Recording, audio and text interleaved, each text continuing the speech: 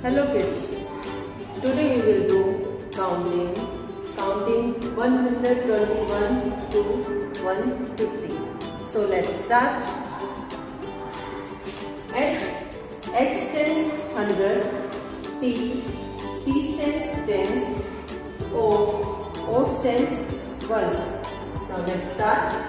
121, 122, 123, 124, 125, 126, 127, 128.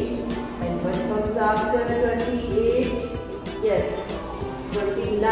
Next is 129 after 29 130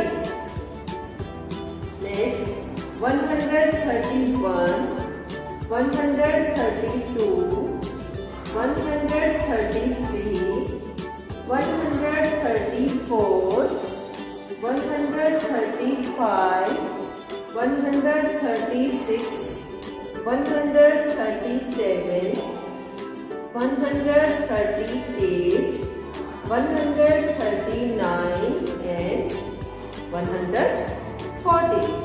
Next, 141, 142, 143, 144, 145, 146, 147, 148, 149 and what comes after 49? 150.